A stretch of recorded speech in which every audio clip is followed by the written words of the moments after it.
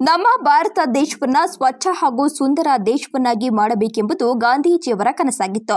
ಮಹಾತ್ಮ ಗಾಂಧೀಜಿ ಹಾಗೂ ಲಾಲ್ ಬಹದ್ದೂರ್ ಶಾಸ್ತ್ರಿ ಅವರ ಜನ್ಮದಿನದ ಅಂಗವಾಗಿ ಹಾಸನದ ಜಿಲ್ಲಾಡಳಿತ, ನಗರಸಭೆ ಮತ್ತು ಸೀನಿಯರ್ ಚೇಂಬರ್ಸ್ ಇಂಟರ್ನ್ಯಾಷನಲ್ನ ರೋಟರಿ ರಾಯಲ್ಸ್ ಹಾಗೂ ನಗರದ ಎಲ್ಲ ಸಂಘ ಸಂಸ್ಥೆಗಳು ಸ್ವಚ್ಛತಾ ಹಿ ಸೇವಾ ಎಂಬ ನಗರಸಭೆಯ ಕಾರ್ಯಕ್ರಮಕ್ಕೆ ಕೈಜೋಡಿಸಿ ನಗರದ ಡೈರಿ ವೃತ್ತದಿಂದ ಎಲ್ಲ ವೃತ್ತದವರೆಗೆ ನಮ್ಮ ನಡಿಗೆ ಸ್ವಚ್ಛತೆಯ ಕಡೆಗೆ ಎಂಬ ಧ್ಯೇಯದಿಂದ ರಸ್ತೆಗಳ ಅಕ್ಕಪಕ್ಕದಲ್ಲಿರುವ ಕಸವನ್ನು ಸ್ವಚ್ಛ ಮಾಡುವ ಮೂಲಕ ಗಾಂಧೀಜಿಯ ಕನಸನ್ನ ನನಸು ಮಾಡುವ ಕಡೆಗೆ ಹೆಜ್ಜೆ ಹಾಕಿದ್ರು. ನಮ್ಮ ನಡಿಗೆ ಸ್ವಚ್ಛತೆಯ ಕಡೆಗೆ ಎಂಬ ಕಾರ್ಯಕ್ರಮದಲ್ಲಿ ಜಿಲ್ಲಾಧಿಕಾರಿಯಾದ ಸಿ. ಸತ್ಯಭಾಮ, ನಗರಸಭಾ ಆಯುಕ್ತರಾದ ಸತೀಶ್, ನಗರಸಭಾ ಅಧ್ಯಕ್ಷರಾದ ಆರ್. ಮೋಹನ್, ನಗರಸಭಾ ಆರೋಗ್ಯಾಧಿಕಾರಿ ಎಸ್ಎಂ ಪ್ರಸಾದ್ ಎಡಬ್ಲ್ಇ ರಂಗಸ್ವಾಮಿ, ಸೀನಿಯರ್ ಚೇಂಬರ್ ಇಂಟರ್ನ್ಯಾಷನಲ್ ಅಧ್ಯಕ್ಷರಾದ ತೌಫಿಕ್ ಅಹಮದ್, ಕಾರ್ಯದರ್ಶಿಯಾದ ನಾಗರಾಜ್ ಖಜಾಂಚಿಯಾದ ಎಚ್ಆರ್ ನಾಗೇಶ್ ಸೇರಿದಂತೆ ಜಿಲ್ಲಾಡಳಿತದ ಸಿಬ್ಬಂದಿ ವರ್ಗದವರು ನೂರ ಐವತ್ನಾಲ್ಕನೇ ಗಾಂಧಿ ಜಯಂತಿ ಪ್ರಯುಕ್ತ ಸ್ವಚ್ಛತಾ ಕಾರ್ಯಕ್ರಮಕ್ಕೆ ಪಾಲ್ಗೊಂಡು ಸ್ವಚ್ಛತೆ ಮಾಡುವ ಮೂಲಕ ಕಾರ್ಯಕ್ರಮವನ್ನು ಯಶಸ್ವಿಗೊಳಿಸಿದರು.